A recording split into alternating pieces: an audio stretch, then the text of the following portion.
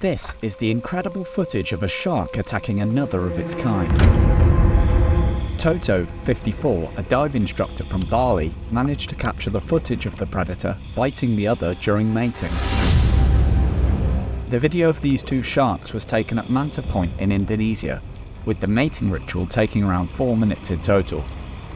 The two sharks can be seen swimming together through the water before one bites the other as it latches onto its side. How strangely aggressive is that?